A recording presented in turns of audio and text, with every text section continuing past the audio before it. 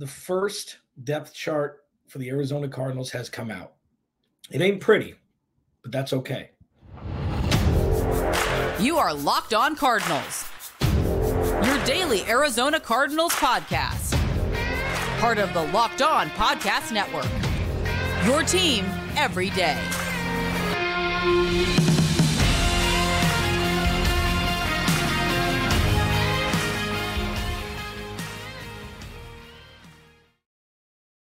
Locked on Cardinals, your team every day. Alex Clancy here. Follow me on Twitter at Clancy's Corner. Follow the podcast at Locked On AZ Cards. Thank you for making Locked On Cardinals your first listen each and every day, free wherever you get your podcast and on YouTube. Please go to the YouTube channel, subscribe, like, leave a comment, turn notifications on. It's about to be wild here in the valley. And I've had a couple people reach out like, listen, you're kind of pumping this up. And it's probably going to be a down year in the win loss column. Like, yeah, but this is rebirth. This is sheer excitement of the unknown. And I mean, any media member, you know, radio host, podcast host, whatever, maybe whatever hats I've worn in my career, you always want something exciting, whether it's a really good team or a really bad team. Meddling in the middle is just, mm, it's, you know, with this, and we're going to talk about the the inaugural 2023 depth chart for the Arizona Cardinals coming out ahead of their Friday night matchup against the Broncos kick off the preseason. Like there's going to be excitement talking about the defensive line. There's going to be excitement talking about the cornerback room, both of which are inferior to what an NFL franchise should put out on game day. But we knew this going in we knew this would be a two offseason process, or at least I did. And this is just seeing pen to paper on what it could potentially look like in 2023 for the Cardinals. The linebackers don't step up, it's going to be tough to stop the run. If the pass rush isn't there and the safeties don't cover for, you know, uh, for holes in the defense like they have over the last couple seasons, pass defense is going to be rough. But this is a learning process for an organization that needed a hard reset. You can't do everything in one off season, especially not having that much cap space. But what they've done, at least so far, is position themselves to have the opportunity to be great later. And that's really all you can ask for. So as we go through camp and we're watching camp, cool, routes, awesome. There's uh, there's the video that went viral of Colt McCoy hitting Antonio Hamilton in the back of the helmet, and you know it, it's so dumb because I mean it was obviously a half speed kind of walk through, um, you know, a route run. It's just like, you know, but the the, the Cardinals are going to be the Cardinals are going to be the butt of jokes. Let's just put it that way this season, and that's okay. They've I mean, I, I don't know how different that's been from years past. So, right now, internally, the Arizona Cardinals, led by Jonathan Gannon and his cabinet, just need to go out one foot at a time and make this team and organization better. And it sounds like such a blanket statement. It sounds so cliched and obvious, but from where we've experienced the Arizona Cardinals being, during the second half of two seasons ago and the entirety of last season. This was the necessary hard reset, rock bottom hit, in my opinion, to get them to where they want to go eventually. So when you look at the depth chart, I'm going to go over this, I'm going to talk about the offense, the defense, surprises, storylines that can come out of this. And I'll preview the game as we get closer on Friday. But this is the last summation of how we got here. We're seeing Zaven Collins and Isaiah Simmons positioned differently than they had been under the last regime. There's a lot of moving parts and a lot of uncertainty and a lot of question marks. But these question marks are different. These question marks aren't will this player perform in year four, or are they going to have to let him walk? There are a couple of those conversations, but that's what these conversations have been. Will Steve Keim need to make a trade to make up for the poor draft that he had? Different questions, different uncertainties. Will BJ Ojulari be ready, who, who came off the pup list uh, yesterday, to make an impact in year one? Will Garrett Williams be healthy and be able to make an impact where CB1 and CB2 may be up for grabs depending on what Marco Wilson does this year? Will James Conner be old faithful out of the backfield? Will Michael Wilson, who wowed in camp, continue that through the season? Will Greg Dortch take that step forward and really put the Cardinals to the test at the end of this season regarding if they need to give him a bigger contract than a one year deal that they gave him? Will Hollywood Brown deserve wide receiver one money?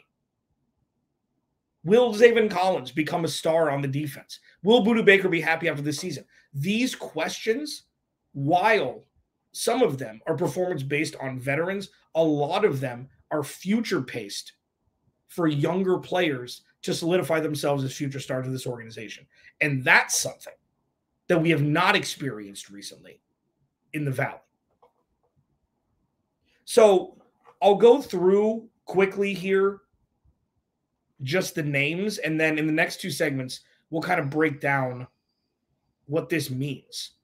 So, the starting offensive line for the Cardinals left tackle, DJ Humphries, left guard, Elijah Wilkinson, center, Froholdt, right guard, Hernandez, right tackle, Paris Johnson Jr. So, Kelvin Beachum is now being backed to be the backup to Paris Johnson. Okay, which is interesting. Now, Paris Johnson can play left tackle and right tackle. And we're going to see right away. Because listen, with Kelvin Beachum, he's been serviceable. He's, he was one of Steve Keim's better, you know, offseason additions on the offensive line, and he didn't cost a whole lot of money for the Cardinals. Wide receiver group: Rondale Moore, Zach Pascal, Marquise Brown, James Conner. Uh, defensive end, uh, the line is LJ Collier, Leki Fotu, Jonathan Ledbetter. Linebackers: Dennis Gardeck, Kyzir White, Chris Barnes, Zaven Collins, and the cornerback room starters Antonio Hamilton, Marco Wilson, and Jalen Thompson, Budda Baker in the safety position. So here's the thing.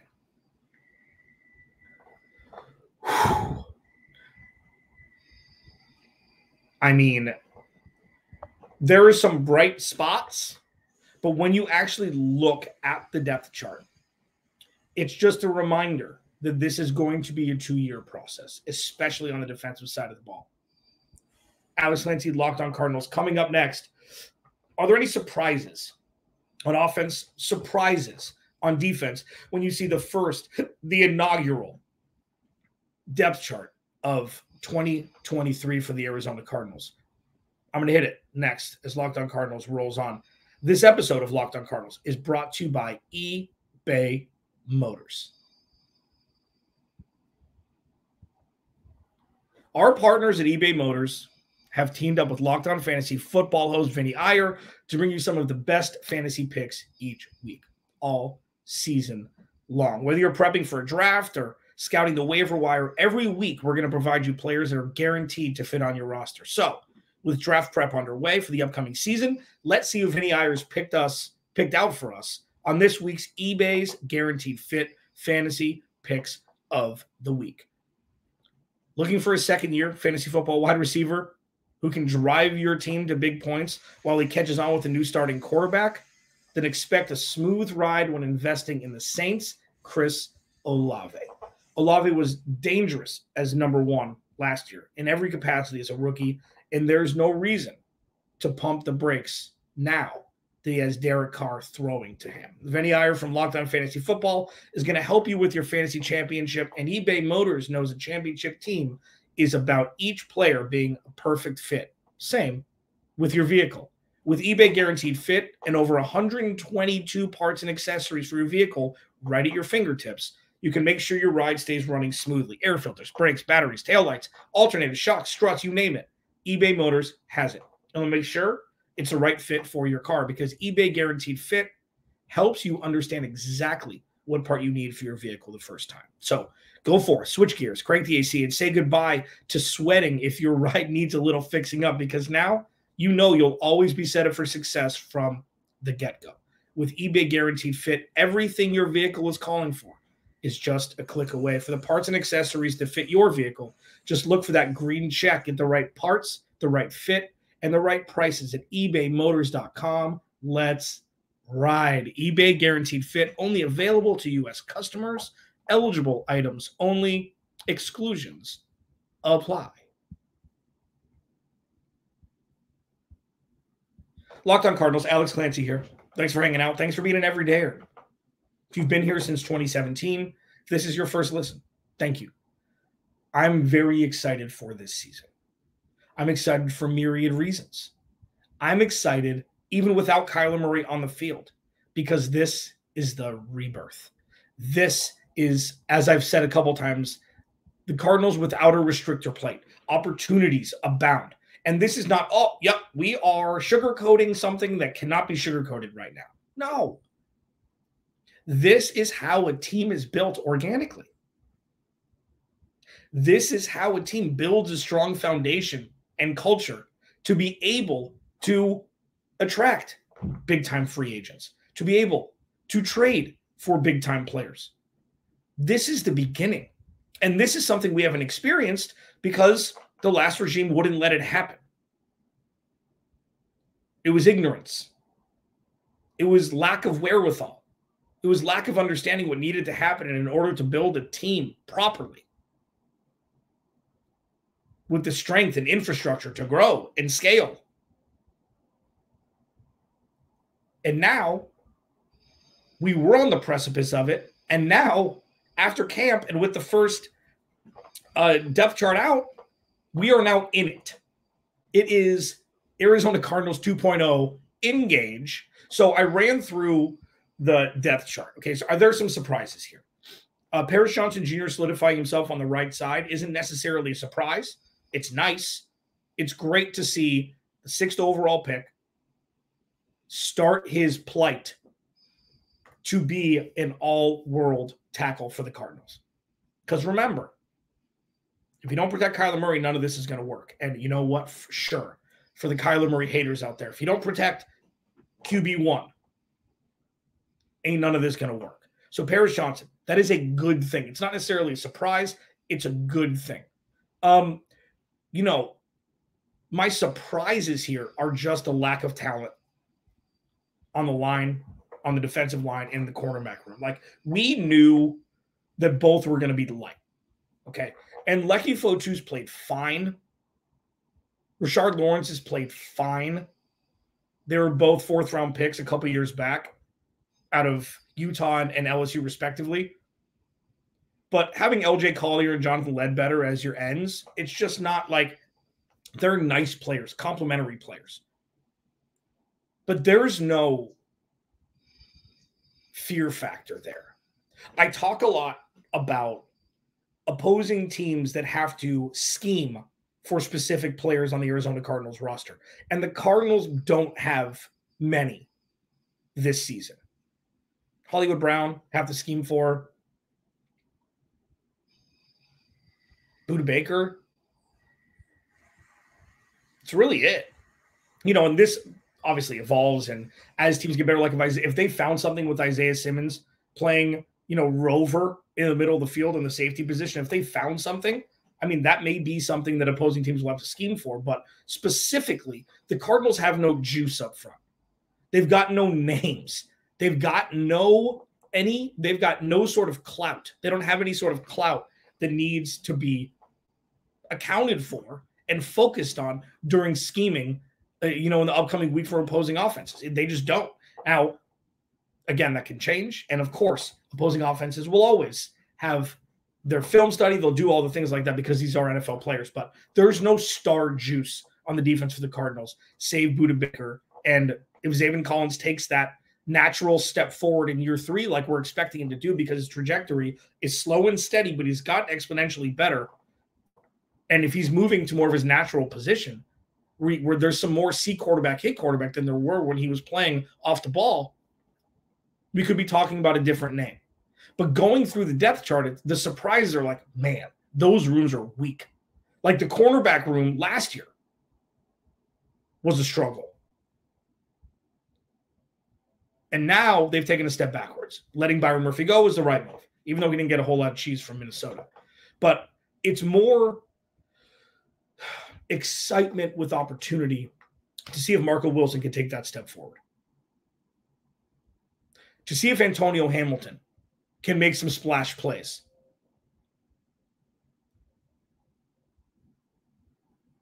And when it comes to both of those rooms, it's just not there. So this is going to be like this is the first like uh, treasure map, road map to okay, this is what the Cardinals need to address next season. Because remember, this is a two-step process. And I mean, other like surprises, there aren't really any. Seeing Isaiah Simmons being second string to Jalen Thompson for strong safety, like it's just it's gonna be fun. Seeing Kyzir White in there playing off ball is great. Another surprise to me is seeing get Dennis Gardeck as a starting outside linebacker. That should never be the case. He was a darling a couple years ago when he had these the massive uh, snap to sack total numbers. The percentage was astronomical. He is a great special teamer, and he is a great pl- plug and play C quarterback, hit quarterback on specific packages. But if you need to rely on Dennis Gardeck, it's just not the right not the right situation to be in. And I know this is the first depth chart. I know things can change. I know all of these things, but I take the information that's given to me at a given time and we discuss it. What are the storylines going into week one of the preseason? I'm going to do a mini segment next, and then I'm going to break it down a lot more as we get closer to the game. Alex Clancy locked on Cardinals. Stay right there. Final segment, Locked On Cardinals. Alex Clancy here. Thank you for making Locked On Cardinals your first listen, free and available wherever you get your podcast and on YouTube. Go like, subscribe, YouTube channel.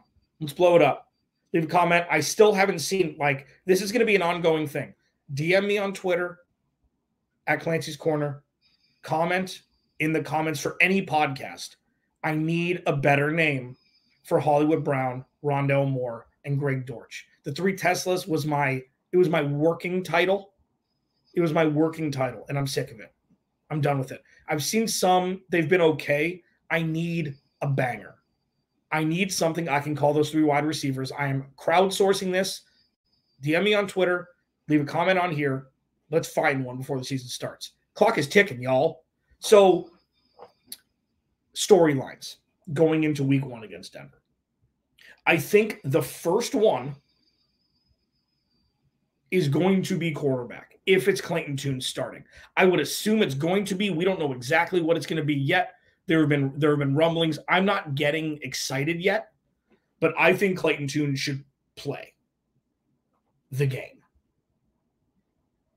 The like the game. Does David Blough need reps? Does Jeff Driskel need reps? He's got 38 quarterbacks on this damn team.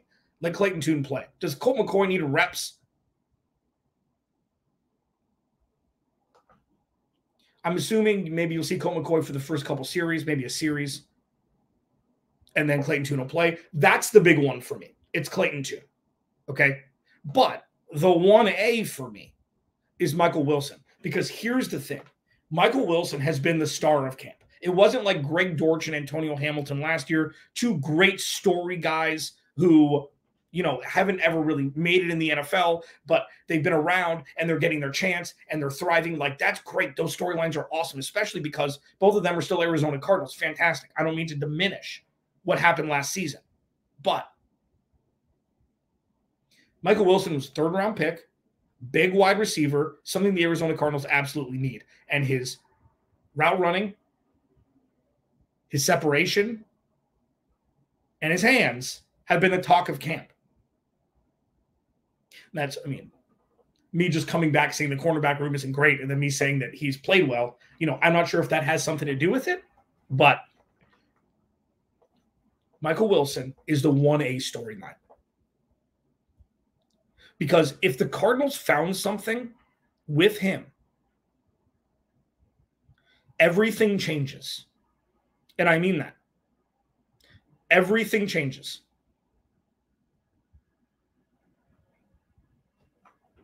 Because look at this. So say Clayton Tune come like I, Clayton Tune's one for sure because he's a quarterback, and we got to see who the quarterback's going to be for the Cardinals going into the season until Kyler Murray comes back. This is a start Clayton Tune from day one until he forces you to pull him due to his play. Podcast. Colt McCoy, it serves no purpose for the Cardinals to start Colt McCoy. No purpose unless Clayton Tune isn't ready to the point where he's going to look like Nathan Peterman. Zach Wilson looked like the worst quarterback in the history of the NFL, and he got six or seven games last year. So when it comes to Clayton Tune, that's the number one storyline. Number two, though, is Michael Wilson. Because picture this he has 800 yards receiving, six touchdowns, but really shows that he belongs on an NFL stage immediately, regardless of quarterback play. Because you're going to have to kind of grade on a curve with Hollywood Brown and Greg Dortch and Rondale Moore, depending on the quarterback play and depending on you know game flow and depending on if Drew Petzing's offense is really going to be a Cleveland style offense. I'm talking about that in its entirety tomorrow.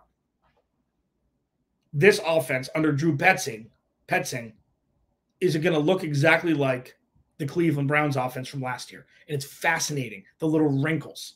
But if Michael Wilson comes in and balls out, I mean, for a rookie, like we're not talking about, you know, massive, you know, 1,500 receiving yards, 12 touchdowns. I'm not talking about that, but solidifies himself as an Arizona Cardinal wide receiver two moving forward. There's a couple different questions that'll arise. One, do they need to extend Hollywood Brown? Even though he's Kyler Murray's best friend, you know, whatever it may be, he's going to want $20 million a year, even though he probably doesn't deserve it. He's going to want $20 million next year. And maybe he does. Maybe he'll have a big year. Then you're looking at Rondale Moore and Greg Dortch. You're looking at Marvin Harrison Jr. knocking on the doorstep. You're looking at potentially one of the best young cores of wide receivers the the the NFL has. Sure, I mean you've got Cincinnati, now you've got Minnesota, uh, who knows what's happening in Kansas City? I mean, that's a Patrick Mahomes project. You know that it doesn't really matter who the receivers are; it shows. But if if Michael Wilson balls out and Hollywood Brown has a has another solid year, and they draft Marvin Harrison Jr., this offense is different. It's a lot different than the Cardinals winning three games next year, moving on from Hollywood Brown, Michael Wilson not really playing well, and then drafting Marvin Harrison and having him be the savior of the offense if he could come in to an already competent wide receiver room, everything is different. They're ahead of schedule at that point.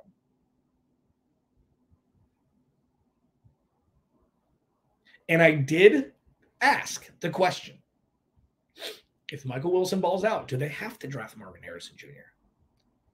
Don't let where draft picks happen cloud your judgment on talent. If Michael Wilson balls out has a thousand yard receiving and 10 touchdowns this year, there is going to be a clear question. Do they need to draft Marvin Harrison Jr. or do you trade back and get two first round picks and a player? On top of like every just what I implore you to do on this podcast is not just think the way everybody else does.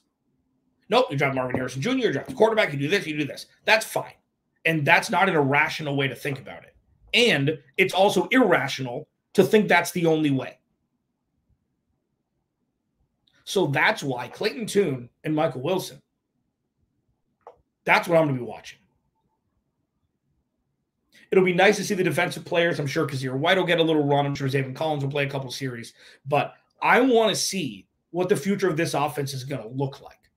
It'll be fun to see Keaontay Ingram if he's healthy to play. Like the main storylines for me, though, Clayton Tune, Michael Wilson. The offense under a microscope tomorrow. Locked on Cardinals. I'll talk to you.